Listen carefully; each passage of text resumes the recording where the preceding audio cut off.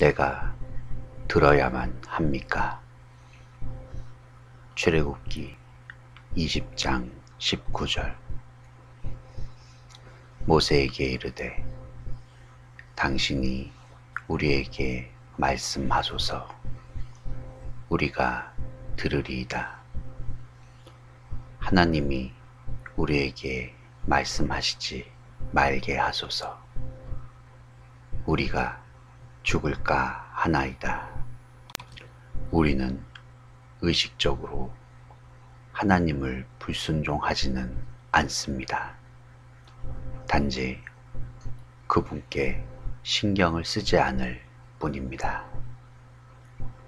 하나님께서는 우리에게 명령을 주셨습니다. 그리고 그 명령은 언제나 그 자리에 있습니다.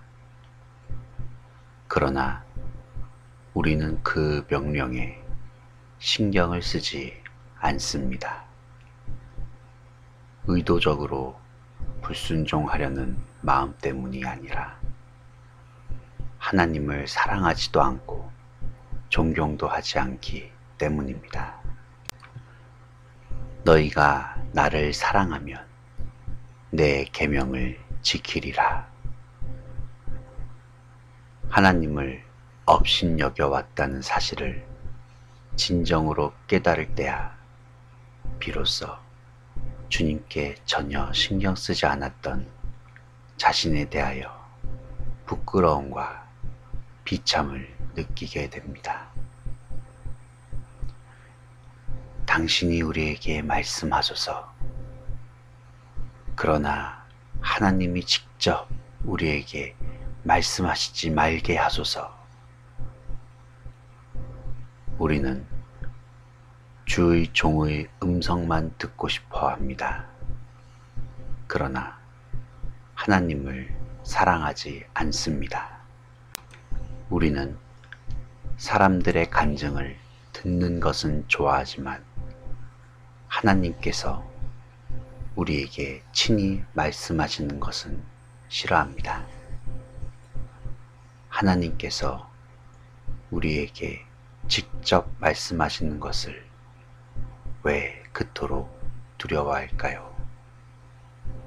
그 이유는 하나님께서 말씀하시면 우리는 그 말씀에 순종하든지 불순종하든지 둘 중에 양자택일을 해야 하기 때문입니다.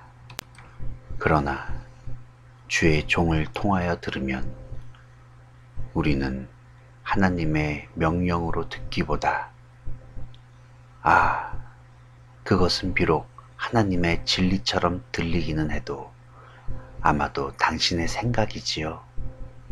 라고 말할 수 있기 때문입니다.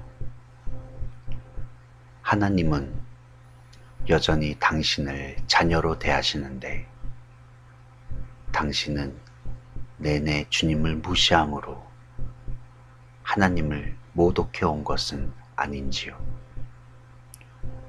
주님의 음성을 듣게 될 때 주님을 모독하였던 나의 자세에 대하여 큰 부끄러움을 느끼게 될 것입니다. 주님, 왜 저는 그렇게 무디고 그렇게 고집이 세었던 것일까요? 주님의 음성을 직접 듣게 될 때 우리는 언제나 자신을 향하여 비참과 고통을 느낍니다. 주님을 듣는 진정한 기쁨은 너무나 오랫동안 그분을 듣지 않았던 부끄러움과 섞이게 됩니다.